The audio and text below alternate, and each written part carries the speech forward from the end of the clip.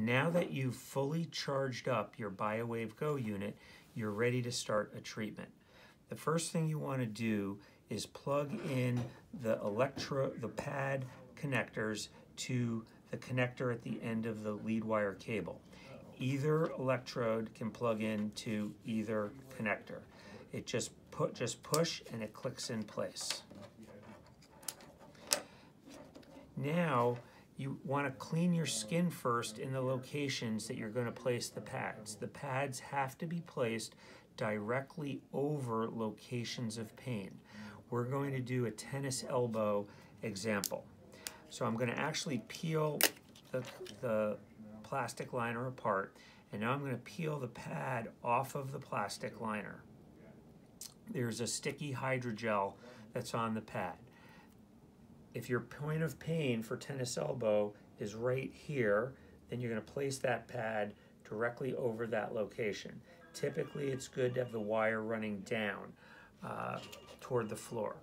The second pad for tennis elbow would go over a second location of pain or a bony area, which tends to be at the end of the elbow. So this is where the second pad would go. Make sure the pads do not touch. They should typically be about an inch apart is the minimum distance. The other end of the cable, the single end, plugs into uh, the, the port on the angle of the BioWave device. It just push and it clicks in. It goes all the way in. Now uh, you're ready to start the treatment.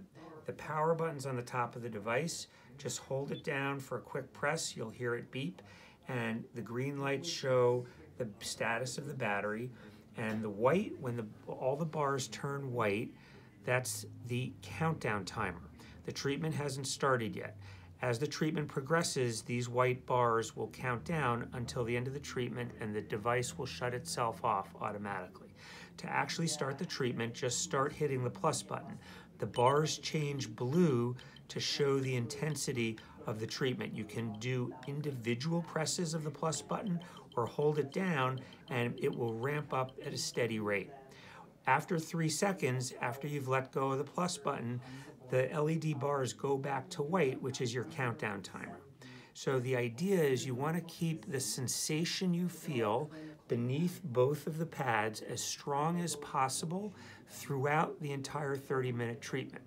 As you do the treatment, you'll notice the sensation will diminish.